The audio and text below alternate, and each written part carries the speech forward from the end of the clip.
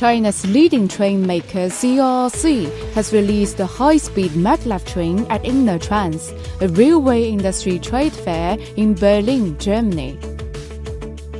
The maglev train is capable of a top speed of 600 km per hour. According to the CRRC, the train was self-developed by China and marked the latest scientific and technological achievement in the field of rail transit. The train prototype conducted a successful test run in China in June 2020. 啊，我们这次的展出的展项包括我们智慧啊、绿色一体化的一些啊纸的展项的内容啊，我们现在也可以提为用户提供一些这个呃低排放的综合解决方案。